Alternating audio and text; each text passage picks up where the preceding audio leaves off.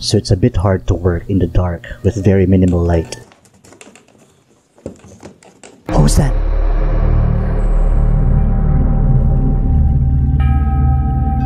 No, no, no, no, no, no, no, my light, my light, my light!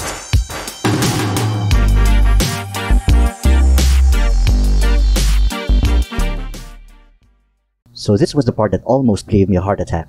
But what part almost burned down our house? To show you, we'll have to go back to the beginning of this story. Hey there, this is HanDIYman 007, and if we're just meeting for the first time, hello. And my passion is building, fixing, and improving all sorts of stuff at home for my family, and sharing with you what I have learned from experience and from others. Our tale begins with this 40 year old light switch. But other than the fact that it has been painted so many times over and very dirty, it's not really the main villain of our story. Nor is it this pull cord, and definitely not this light bulb and adapter, which both tested just fine elsewhere. It's actually this light socket which everything connects to that is proving to be the cause why this entire lighting system doesn't work. A lighting system can have several points of failure, like a part broken inside the switch, the bulb has reached its end of life, a socket adapter becomes corroded, faulty wiring, or worse, a mix of two or more of these. However, in this scenario, my number one suspect is the light socket or receptacle. How could I tell? Because it does this. And that is odd because it's supposed to be mounted firmly against the ceiling and should not wiggle at all. This tells us that both the mounting screw and the wiring got severed somewhere up there. First thing we gotta do is turn off the main power of the house. Then remove everything that's connected to the socket. This is an old socket design and in order to get to its mounting screws, we need to remove its cover by twisting it counterclockwise but as you can see, it's a struggle to do it with just one hand. So let me put down my camera to free up my other hand. Alright, let's try this again.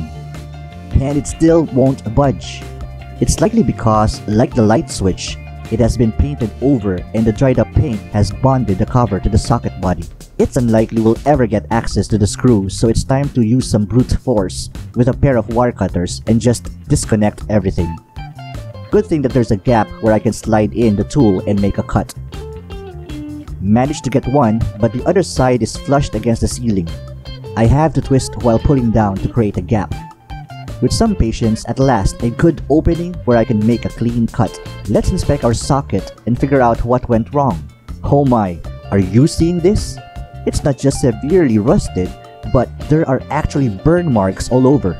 The side where you insert the bulb doesn't look too bad, but this other side, this is a silent killer right here. This could have literally started a fire and potentially burned down our house if left unchecked. When we take a closer look at the ceiling, you can also see black streaks. Those are burn marks too, and it looks like it originated from that protruding wire on the right which looks to have been thinned down by rust. You see, given the same amount of current flowing through a wire, the wire gets hotter and hotter the thinner it gets. And note that even if the switch is off, there will always be one live wire, unless the main fuse box is shut down.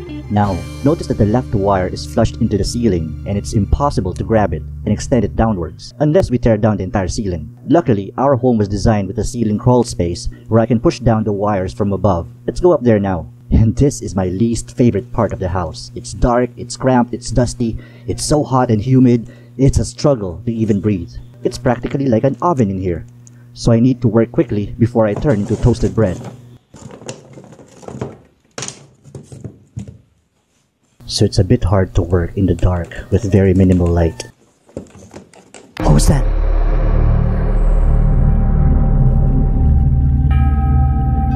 No, no, no, no, no, no, no, my light, my light, my light! Okay, we're back batteries on my headlamp came loose and the heat is playing mind tricks on me. What we're doing here is wrapping these wires with fresh electrical tape since the old ones have melted so bad and was probably caused by a short or a loose connection. How about in your house? Do you have a ceiling crawl space? And if so, what situations pushed you or a professional to access it? Share your experience in the comment section below. You might be wondering how the old socket even got rusty in the first place. It's not like there's water around here. Well, the thing is, one side of this garage ceiling is against a wall, and on top of that wall is a roof gutter. You know, that iron crevice where rainwater is caught and drains through a downspout. For a time, that gutter's downspout was blocked by leaves and debris and caused water to spill over the ceiling. And because the ceiling is made of wood, capillary action made the water creep across the plywood and eventually reaching this spot here. And as you already know, water plus metal equals rust, and the rest is history. So what I just did was to push these two wires downwards to expose enough length below for us to connect our replacement socket later. A bit of a struggle though, since the holes are right beside the support beam. Anyway, we're done here, so let's go back down. Now we have more than enough length for both wires to make a new cut, ideally way past the burnt sections. Let's take a closer look how burnt that right wire is. At one point, this wire became so hot it melted its own insulation. So we'll use that as our cutting point, meaning we cut the wire at a section where there's absolutely no sign of burning around the insulation. Okay, so now we cut the wires. That's one, and that's two. Good. Then we strip both wires about half an inch from their tips. That's one, and two. Fantastic. This is the replacement light socket we're going to use. Underneath it are two metal plates with holes where we are going to insert each of the wires. Once we slide in the wires, we press them permanently into place with these screws. Another nice thing about this modern design is that the two mounting holes are located outside on opposing sides of the socket body. No more cover to worry about getting stuck. By the way, this is very inexpensive, only cost me about 50 pesos from our neighborhood hardware store. Okay, so I've just inserted the wires in each of the socket plates and secured them with the screws it came with. All we have to do now is push the excess wiring back up into the ceiling until the socket base is flat against it.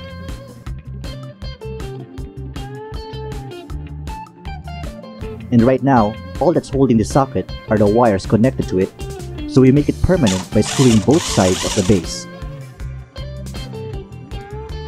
Let's not forget to wiggle it a bit after, just to make sure everything is tight. Then, let's insert our old light bulb and test. I'm actually going to upgrade to a new bulb with a higher wattage to gain more brightness in the garage, and it's best practice to test with a cheaper bulb first, right after a wiring job. So that if there was a wrong connection, you don't end up destroying the new and more expensive bulb. Okay, here goes. Perfect. So far, our light is stable and I don't see any flickering, which means our connections are spot on. So I believe it's safe to mount back our old adapter and this time insert our upgraded light bulb. By the way, the reason why we have this adapter is because there's no power outlet in our garage and we have to use this light socket as an extended power source for an electric fan below and plugging in appliances every now and then like a phone charger, pressure washer, or a vacuum cleaner. This LED bulb is 12 watts, which should be brighter than our old 9 watt LED bulb and we want to make sure this is snug, like so. Alright, moment of truth. Nothing left to do but to turn on the switch. You ready? 3, 2, 1. Wait, what? What's going on? Why didn't it light up? Let's go back up there.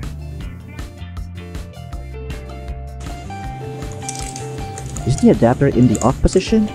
No, it's switched on. Phew. It turns out that I didn't screw in the adapter tight enough. There wasn't full contact with the light socket metal plates inside.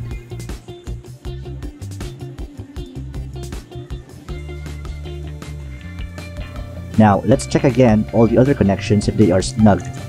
Good.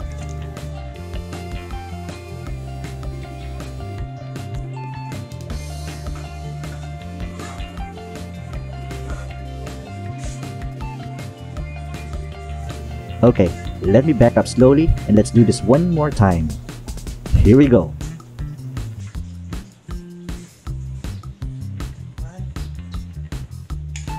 Awesome! Our light is bright and steady. Let's toggle the switch a few times to make sure. Perfect! Now, let's test our connection to our light socket adapter by plugging in and switching on our electric fan to see if it will run.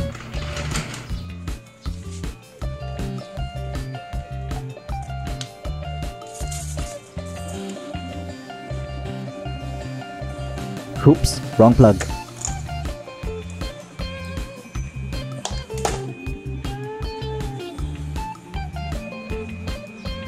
Here's the right one.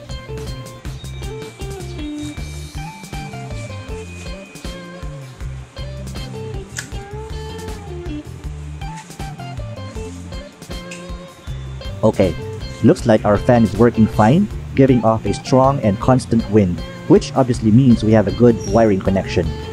Perfect. Let's switch this off.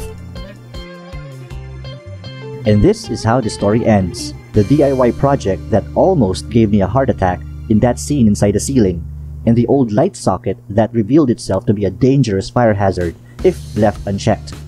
Good thing we were able to fix it. How about you? Do you have light sockets at home that look suspiciously faulty?